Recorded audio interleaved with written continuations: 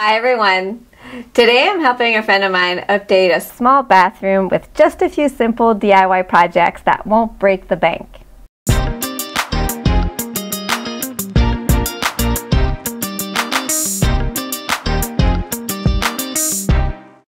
This project is brought to you by Smart Tiles, tiling made simple. After renovating a lot of his condo, my friend only had $200 left to update this small half bath.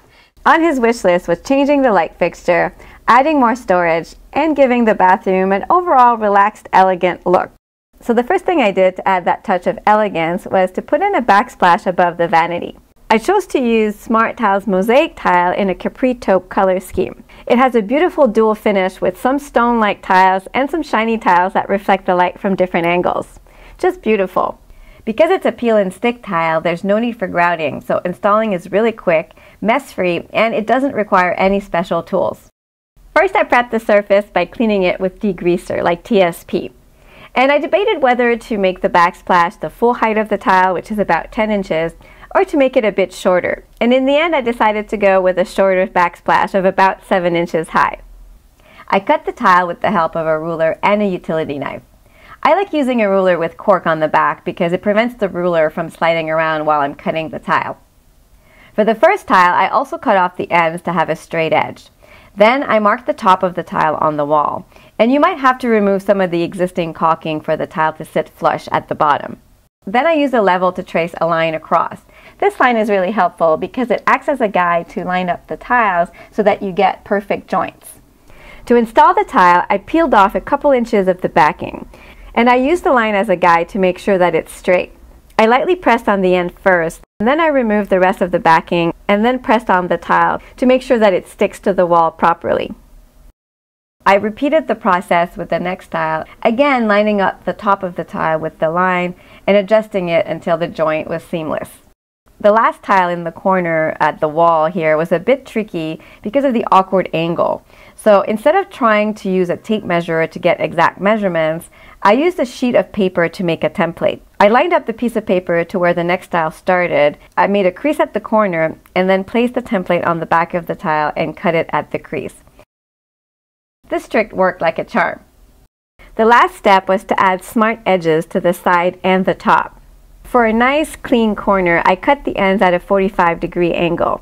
To get a perfect 45 degree cut, I use a speed square to first draw a straight line on my piece of scrap wood, and then I use the 45 degree side of the speed square to make the cut. This will give you a perfect joint every time. This backsplash took less than an hour to install, and it's amazing how such a small change instantly added an upscale feeling to the bathroom. Next, I got to tackle the lighting fixture. Now, to say that it's dated is a bit of an understatement. Not only is it dated, but it's also not centered across the vanity, which is really annoying. Now, I didn't have enough budget to actually replace the entire fixture, so instead, I simply covered it up with a shade that I made with wood and inexpensive plexiglass that I covered in cloth. The whole thing is very light, so I was able to hang it using just 3M command strips to avoid making holes in the wall.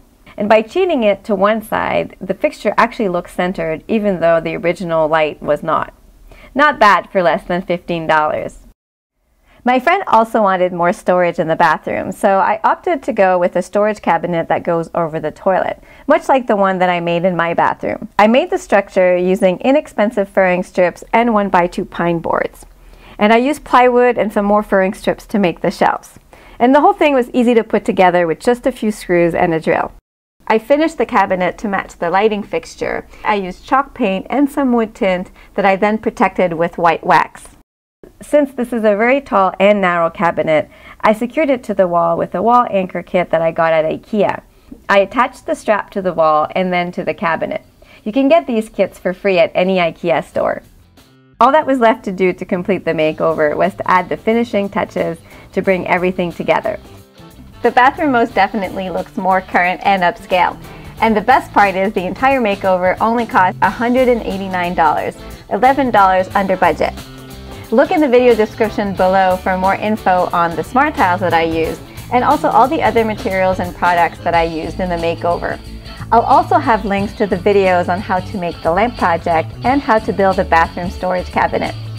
Now don't forget to subscribe to my YouTube channel so you don't miss any of my upcoming videos.